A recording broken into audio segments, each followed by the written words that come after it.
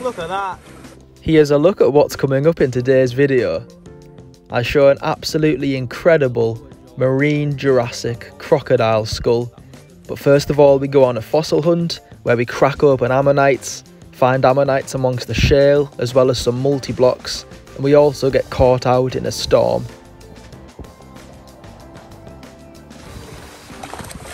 Not only that, we're also going to have a look in the water for some seals as well. I'll introduce the video now, then we'll get on and start looking at the fossils. I'm out fossil hunting today in this pretty miserable weather. It's been raining almost constantly the entire time I've been fossil hunting. However, I have come across a pretty nice ammonite multi-block, so I'll show you that now. There's also quite a few seals down at the beach, so I'll show you a few of the seals as well. First things first, let's have a look at this multi-block. If you think the rain here looks quite bad, just wait until you see what it looks like when I'm heading back up off the beach. I get caught in some absolutely torrential rain.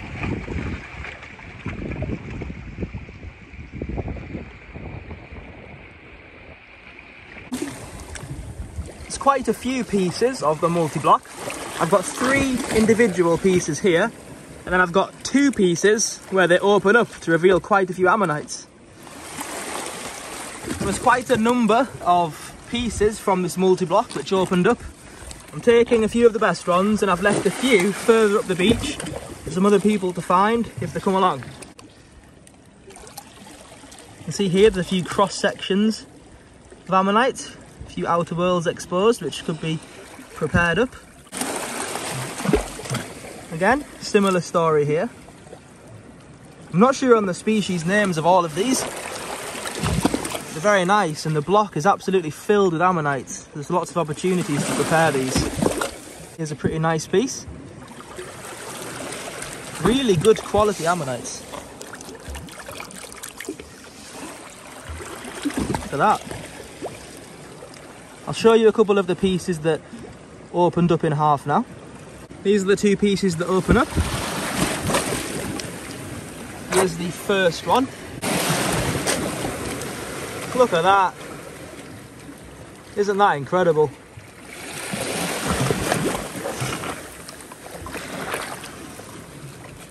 It's covered in natural oils as well.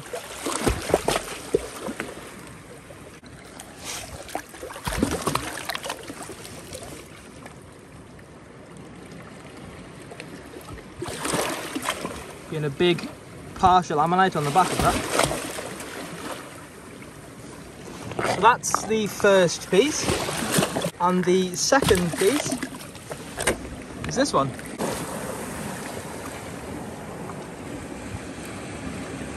Again, look at that. It's got Plenty of ammonites on it.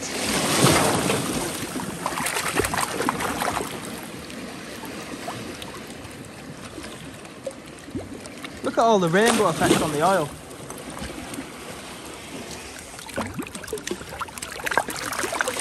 Was the second multi-block which I was lucky enough to find. I actually found a pretty similar piece on a previous hunt in this area. Pretty awesome. Loads of calcified outer whorls as well.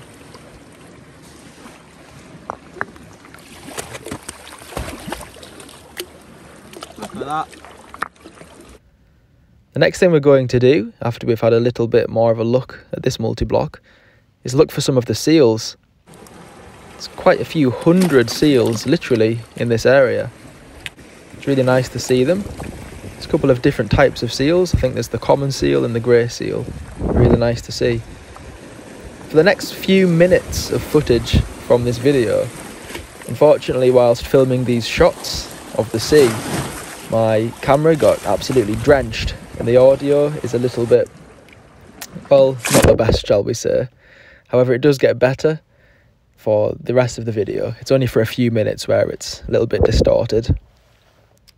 At the end of the video, I've got the clip showing the marine crocodile skull. And I filmed that on the way home. Can you spot the seal?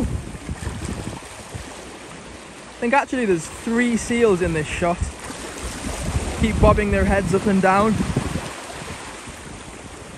You can see a couple out in the distance.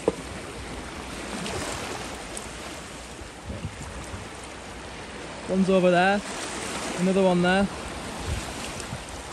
And there was one a little bit closer up, but it seems to have dipped its head back down now. Oh, there it is.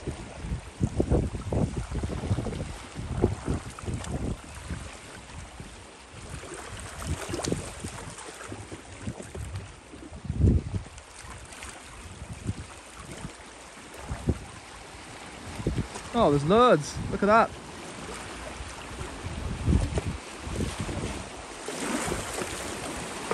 Might be wanting to come further up the beach, so I'll walk away in a second.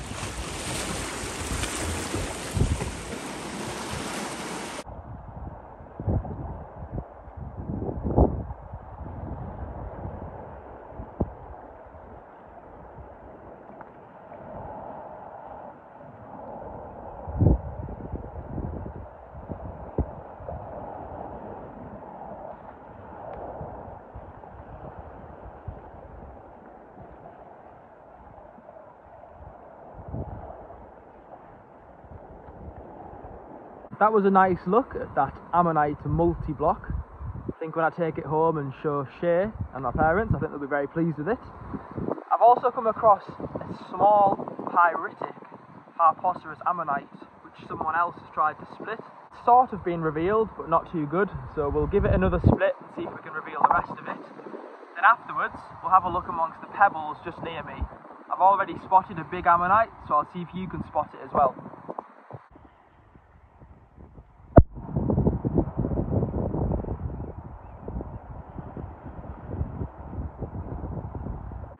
This is the ammonite, which I think someone else must have tried to split. You can see, outer whorl is revealed and a little bit of the centre. Quite a lot of it's broken through though. I think there's a decent chance if I split this through, it might break off and be pretty nice on the other side.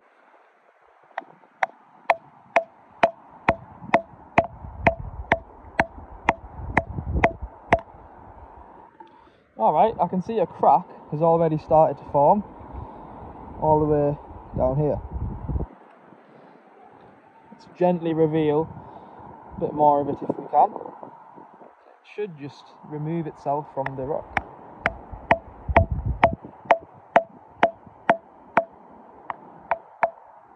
Okay.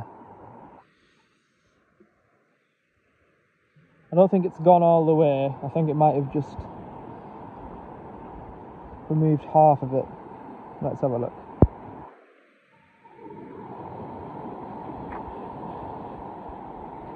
Wow. oh my gosh, how golden is that? That's ridiculous. Wow. That's honestly so impressive. The ammonite's very badly preserved anyway. It's not it was never complete, it had been crushed and the centre of the ammonite is turned on itself and actually is preserved perpendicular to the rest of the plane of the ammonite. So that's pretty weird. There we have it. It was this side only. Now we've got both of these. Yeah, That's pretty cool. I think actually for this, I mean it is really nice. I think it's probably the best thing to do so leave it here for someone else to find. It's family nearby, I might go see if they might like it. Right, let's have a look for some ammonites. Now, as I sort of hinted earlier, there is a big ammonite amongst these pebbles, and it is a pretty big size, it should be fairly obvious. I'm going to slowly walk across, see if you can spot where it is.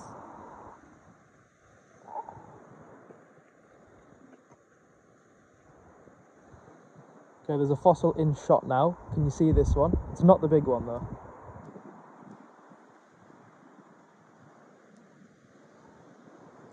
Yeah, there's a little ammonite imprint down there.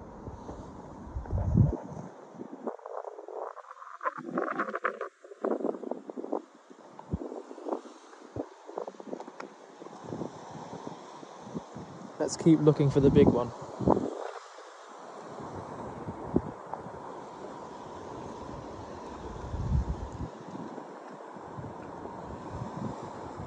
Okay. It's in the shot now. I think I've probably made this a bit too easy. Let's keep looking for the big one.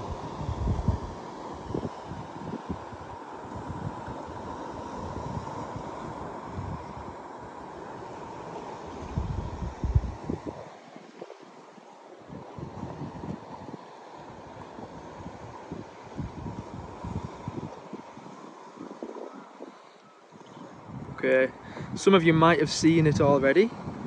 Can you spot where it is?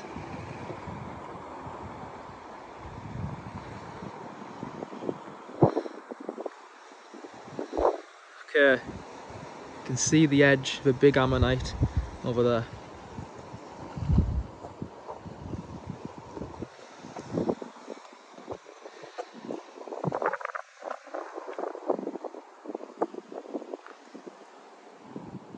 pretty massive compared to that imprint. Now, I'm not sure what species this is.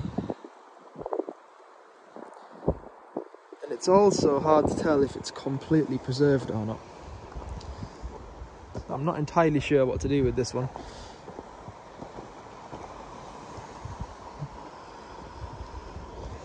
Maybe I'll send a photo to Shay, see if he wants me to bring it back home. If not, I'll leave it on a rock with these other fossils for someone else to find.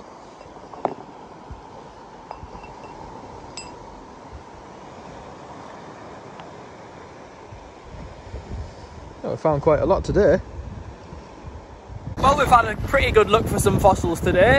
Of course, I wasn't out as long as I wanted to be, and that was due to the weather. Quite often when it's pretty stormy like this, the rain can make lots of bits of shale fall from the cliffs, so it becomes a lot more dangerous to walk even near the cliffs with quite a lot of rock regularly coming down. Although we didn't have a very long look, I did find quite a few nice fossils, so it was definitely worth coming out. I'm going to head back home now, and on my way home, I will show you the fossil that I mentioned earlier in the video. So there's still a lot to look forward to yet. I'll head back home now and let's have a look at it. As you can see actually, there's quite a lot of shale that's come down, probably because of all of this rain quite a sizable fall. Might look small on the video. That's probably because the cliffs are all really, really high, but it's actually a pretty, pretty big fall that. Lots and lots of small pieces of shale. obviously in this case, it's been some really, really big lumps that have come down as well.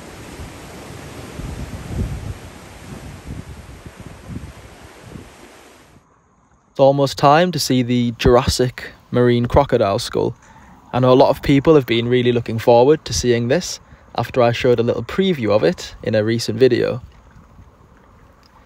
For anyone that was also interested, the golden fossil that we cracked open just a few minutes ago, there was a lovely little family nearby and I gave it to them and they were really appreciative of it, really liked it. I think they'd travelled from quite a way to come here and Mainly came to see the seals, really. I think it added to their day, receiving that lovely fossil as well.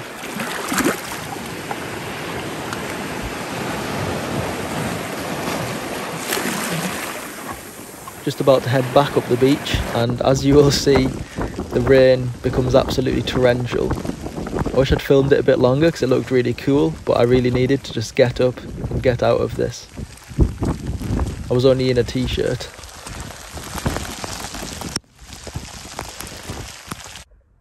On my way to filming the crocodile skull, my car ended up getting surrounded by sheep.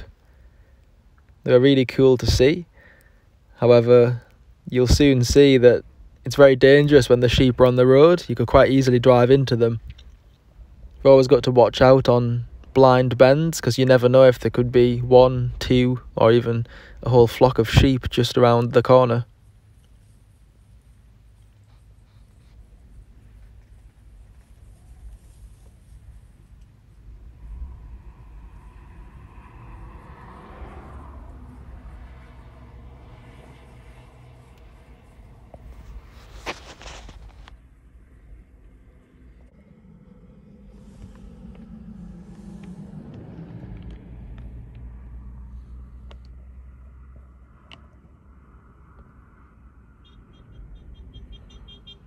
Coming up next, we're going to be having a look at the fossilised crocodile skull, which I mentioned at the start of the video.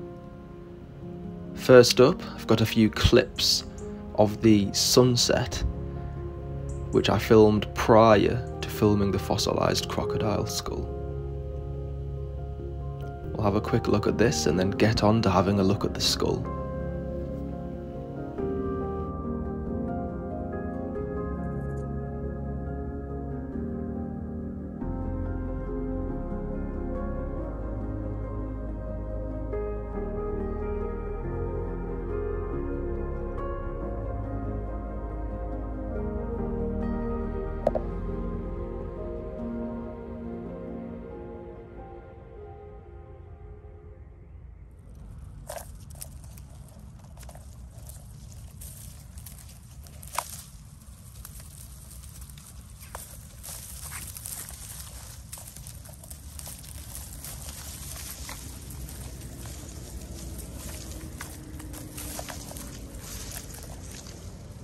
Here we are at the end of the video and as promised right at the beginning I've got that incredible fossilized crocodile skull to show you.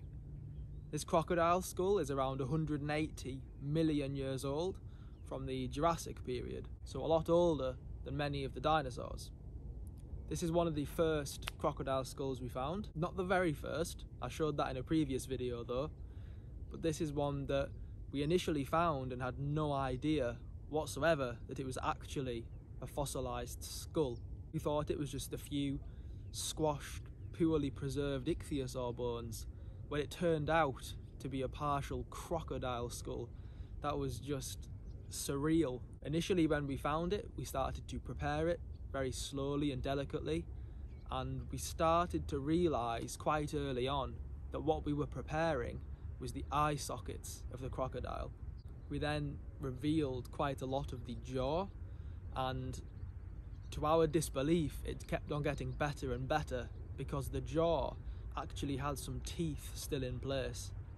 Crocodile skulls, well fossilised crocodile skulls are rare enough as they are but to have the eyes and the jaws and teeth within the jaw is just incredible really really special find quite often as with many fossils when they're found, they're found in a few pieces, and usually it's just the back of the skull that's found, so the piece with the eyes and the very back of the skull. The actual jaw associated with the skull is very uncommon to find, so it's a rare find overall, but to have the jaw actually still attached to the skull and not broken off is really unusual. Quite often when we found them in the past, we found bits of jaws that have been predated, so they've physically been bitten off from the crocodile before it was fossilized. It's a really cool find, really rare, and I think we should now have a look at it. I think I've spoken about it enough. So here is the skull. Now it's turned upside down at the moment. Just You can just see the limestone at the back of the skull at the moment. However, turning it over, you can see almost exactly what it is straight away. Even without me saying it's a crocodile skull, you could probably already tell that that's what it was. So the skull has the majority of both eyes preserved. You can see it's got a little bit of one of the outer eye sockets worn away, but that's fine. And it's got the very, very back of the skull, the basioccipital, where the very first cervical vertebra would attach. That's still in place. I'll show you the crocodile skull close up as well in just a moment. And then down the side here, I've got lots of teeth still intact. And they're still very sharp as well. Looking at it this way, you can also see a lot more teeth. So I'd actually forgotten, but it, there's teeth down both sides of the jaw. I thought they were just down one side, but it's a nice surprise to remind myself that there's teeth down both sides of it. Now the very end of the jaws have unfortunately been eroded away, as well as the side of the skull, the majority of it is preserved. And of course it would have had a lower jaw as well, but that's also not here. That must have disappeared prior to fossilisation. Let's have a closer look at the skull now.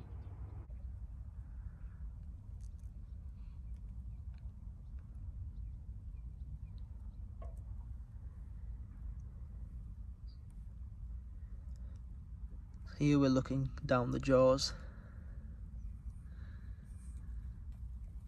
the eye sockets. This is where the muscles would have attached, as far as I'm aware. And this is the basioccipital.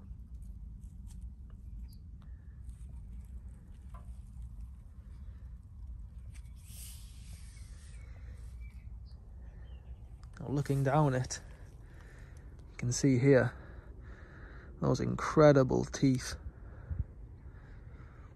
These were possible to be prepared using quite a lot of acid preparation.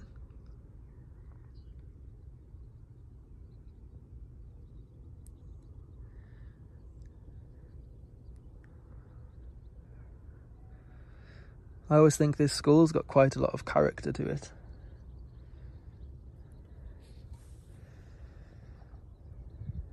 Right there. Lots more teeth down the other side too. These teeth in particular are really sharp.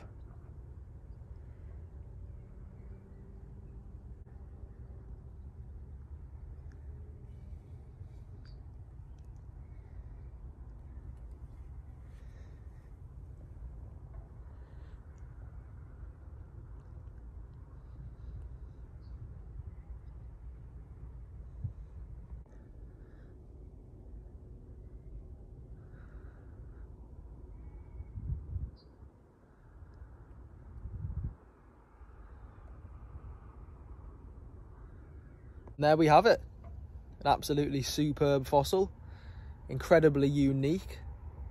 We've been lucky enough to find a few other bits and pieces of crocodile skulls over the years. When they're prepared, I'll be sure to show them. In the meantime, I hope you've enjoyed seeing this one. Thanks for watching, and I will see you in the next video. If you have any video requests of videos I've not made yet and that you would like me to make, please just let me know in the comments and I'll hopefully get round to making them. See you in the next one. Just to round off the video, I've got a selection of photos of the crocodile skull. Sometimes it's not easy to see all of the details on video, so I took some photographs of some of the key features.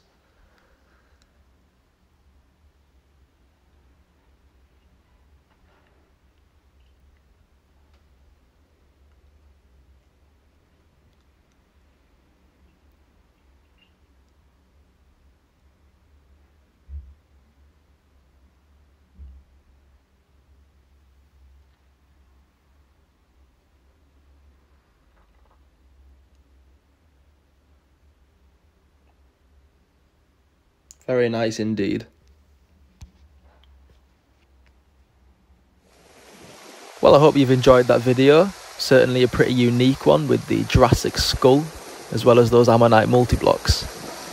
If you'd like to support the page and support our channel, and in particular my brother Shay who does this full time, we offer plenty of Ammonites, both ones to crack open yourself at home and fully prepared specimens. So if you'd like something like that, it's very enjoyable to crack them open. Please contact my brother, his details are coming on screen now. Thanks again for watching and we will see you in the next one.